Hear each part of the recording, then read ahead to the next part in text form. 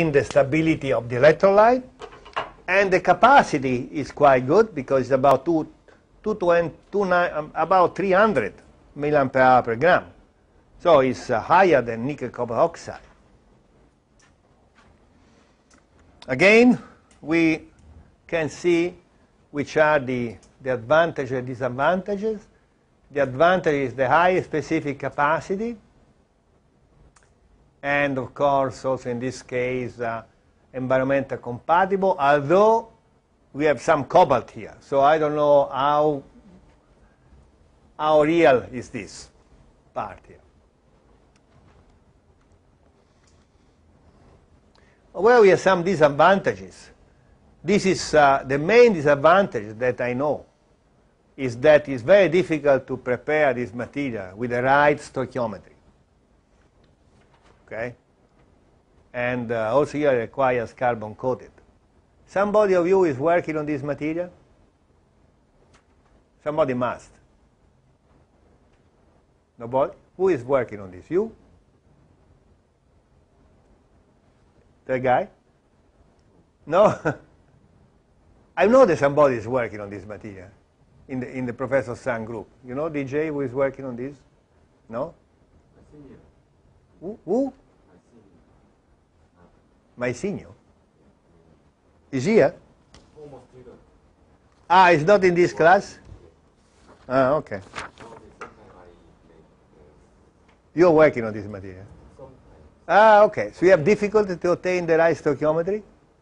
So this is the main difficulty.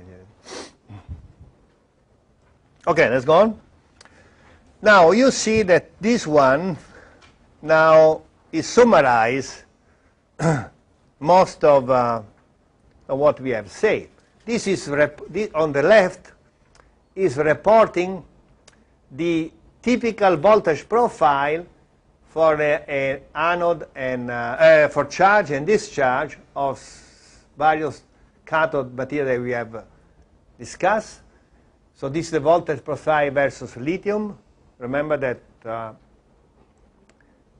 both the anode and the cathode material, before using in a real lithium-ion batteries, are checked, are tested in a semi-cell using lithium as a reference electrode, as a counter electrode. So as I say, lithium iron phosphate is working around uh, 3.5 volts. You see, this one uh, is a very good uh, material, probably carbon coated because it gives the most, almost the theoretical capacity. Lithium cobalt oxide is violet here, is working around 4 volts, they say. Then we have lithium manganese oxide with it, these two plateau due to this change in structure that I mentioned before. Again, also around 4 volts. And then we have lithium manganese oxide working up to. You see, even with the average is, uh, is the black one. The average is 4.5, but in charge, which is uh, maybe this one here, you go up even to 5 volts. So, I mean, you're up here completely out from the stabilization. And now, when you want to use this various cathode material in uh, lithium-ion batteries, you have to combine it with an anode. Suppose that the anode is graphite. So this is the evolution of graphite, okay? And uh, it, then if you compare the evolution of graphite with the evolution of all these, you have uh, these values of potential. So if you use lithium iron phosphate, you have about 3.5 volts, as we say here. Right? If you move to lithium cobalt oxide, you have about 4 volts. Lithium manganese, maybe this a bit uh, excess there, but still around 4 volts, 4.2. And the higher voltage is from um, uh, this lithium nickel manganese oxide. But again, I think we have a problem with electrolyte. Here. now, I show you that from the various, you, you see, from the various charge and discharge curve, there is some irreversible capacity. And that means that also at the cathode side, especially when we are operated at the limit of the stability. So this here is a better draw of this. okay. You see that this is the stability domain, domain of the organic electrolytes goes from about 0.8 to a little bit over 4. So now when you, you, you know that, uh, that uh, graphite, we already discussed that, the graphite operates well below the stability. So the, the only way to operate graphite is to have formation of a passivation layer, okay, which is this one, called SAA, which is SEI, sorry, which allows you to protect the, the, the electrode. And rather, rather than protect the electrode, to stop the decomposition of the, of the electrolyte. But the same thing happens also at the cathode. For instance, it happens to lithium cobalt oxide, to lithium manganese oxide, and others.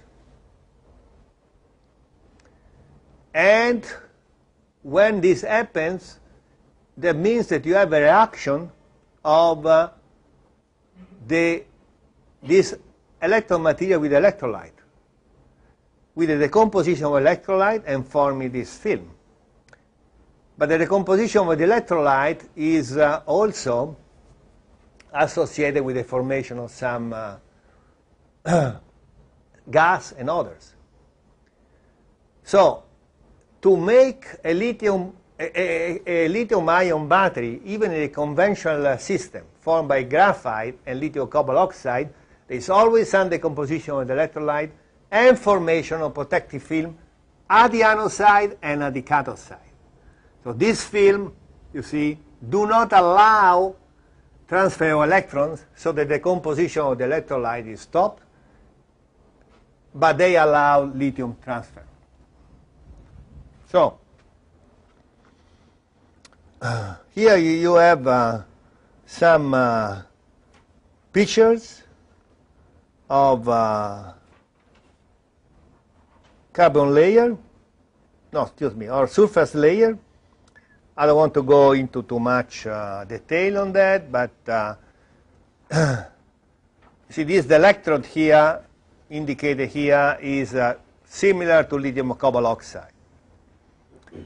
And uh, the film which is forming on this electrode is first have a layer of uh, inorganic material, lithium carbonate. And then on the top on the layer, there is a kind of organic composition, polymer, polycarbonate, with other many things, fluoride and so forth. So it's very complicated, but you have uh, this film forming.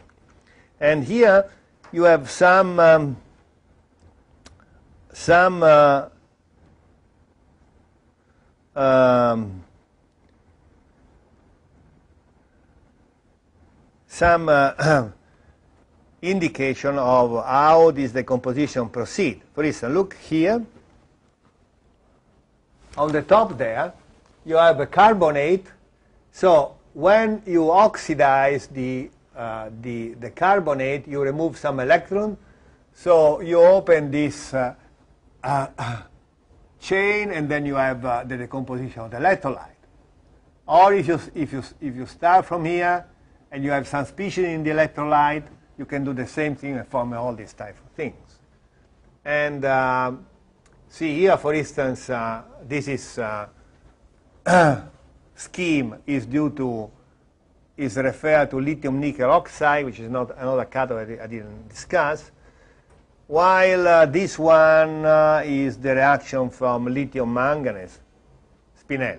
So you see, you have all kind of, of reaction, but of course, the decomposition of the electrolyte all involve involves electrons, removal of electrons. So this is the reason why these films, since they don't allow the transfer of electron, block the decomposition. But the decomposition also always occurs at the beginning with the formation of all these stuffs here, which are gases or uh, other things. So as I mentioned you before, the produce, battery producer when they make lithium-ion battery, they always have to charge and discharge this battery for two or three cycles in order to eliminate all this gas produced by the composition of electrolyte. And then they can seal the battery. so it does lithium iron phosphate. So the combination of the two is, the, is indicated here, where this is the voltage profile of lithium titanium oxide, operates about 1.5 volts. This is the voltage profile of lithium iron phosphate, operates about 3.5 volts. So in this case, we have a battery of only 2 volts, much lower voltage than normal lithium ion batteries. But this battery can operate without decomposing the electrolyte. So it has a very long life, very reliable.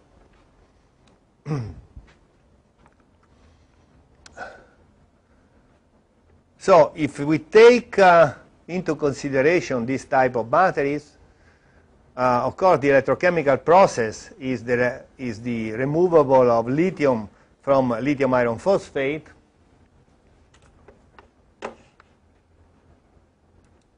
here and uh, insertion of this lithium into titanium, lithium titanate. In fact, you see that lithium titanium is added, uh, receiving some lithium, while lithium is removed from lithium iron phosphate. Then in charge, it's just the opposite. So this is very simple reversible reaction. So this can give you many, many cycles. What is this? Mistake, sorry. so the comparative with conventional lithium cobalt oxide battery, of course, is a lower voltage, but we have the advantage to operate within the stability domain of the electrolyte, so safety and reliability, again compatible with the environment. And uh, also, these uh, materials, both lithium iron phosphate and lithium titanate, have a very little change in volume during the process. So these give us very high reversibility, high cycle life. and again, uh, remember that uh, we can even increase the voltage of uh, this cell by replacing, for instance, uh, lithium iron carbonate, uh, lithium iron uh, phosphate with uh, lithium nickel manganese spinel. Remember that this is the, the, the, the material which operates at very high voltage, 4.5 volts. So the combination between the 4.5 volts of this lithium nickel manganese oxide 1.5 volts of lithium titanium oxide give us a 3 volt battery. And this was the battery that Dr. Amine showed us.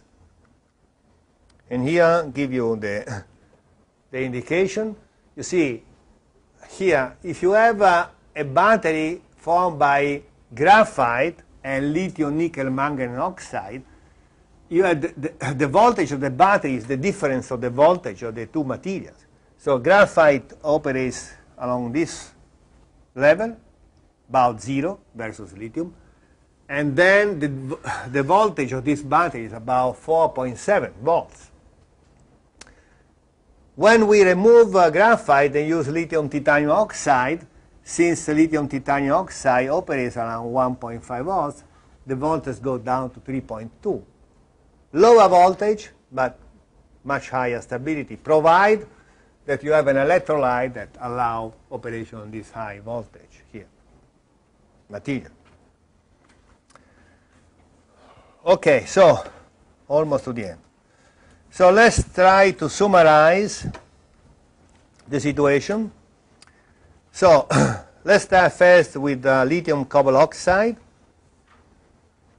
The theoretical capacity is 100